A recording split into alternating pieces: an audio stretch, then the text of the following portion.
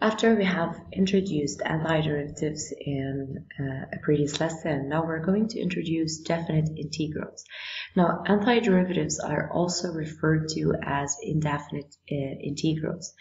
Now, if we consider a function f that is continuous over an interval ab that is a subset of the domain of the function, and if we designate by g an antiderivative of f, now, antiderivative of f is defined by the indefinite integral, that is the integral of f of x dx, which is gx plus k, and that is equivalent to saying that g prime of x, the derivative of the antiderivative, is in fact the function itself. Now, the definite integrals in fact uses uh, the antiderivative of the function over uh, the given interval AB that we've already mentioned is a subset of the domain of the function. So the integral of f of x dx over the interval AB is in fact the antiderivative of the function defined over that interval by g of b minus g of a.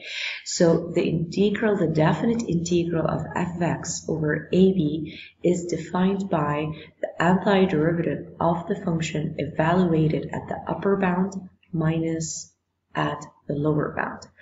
So it's g of b minus uh, g of a. Now over here we do ignore the constant of integration because when we subtract that constant of integration will end up being cancelled anyway. So by considering that g of x plus k is between a and b, by applying the upper bound minus the lower bound, I would have g of b plus k minus into g of a plus k. So expanding that, that would give me g of b minus g of a and k minus k ends up being cancelled out. So this is why whenever we're dealing with definite integrals, we just ignore that constant of integration over uh, that interval between a and b. So we're going to solve a couple of examples here. Now, x squared plus 4x uh, plus 2. We're integrating it between uh, 0 and 2. So we start uh, exactly the same way by integrating each term using the integration rules.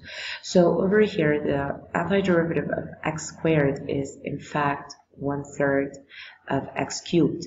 Now it's good to revisit uh, the table of antiderivatives or the table of integrals in order to remember the antiderivative rules.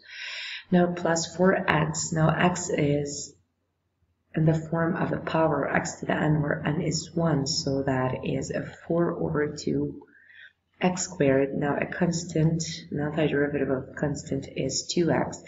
But here, this antiderivative would actually be defined between uh, 0 and 2. So simplifying that, it's 1 third of x cubed plus 2x squared plus 2x between 0 and 2. So upper bound minus lower bound. So 2 cubed, that's an 8 over 3. 2 times 2 squared, that's a 2 times 4, which is an 8 plus 4 minus evaluated, the antiderivative evaluated at 0 now that is zero in fact. So over here, this is 8 over 3 plus 12, so that's a 36 uh, plus 8, so that's a 44 over 3. So that is the definite integral corresponding to this function between 0 and 2.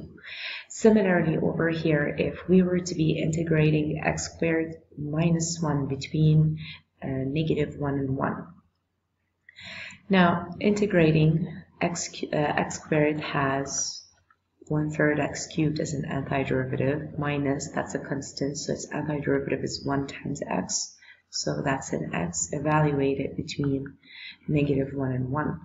So upper bound minus lower bound. So it's one third minus one minus into negative one third. Negative one cubed is negative one. So negative one third, negative into negative one, that is uh, a plus one. So it's So it's negative 2 thirds minus negative 2 thirds. Now that is a negative 4 over 3. And that is it regarding definite integrals. Now in our next lesson we're going to be tackling some properties of uh, the definite integral.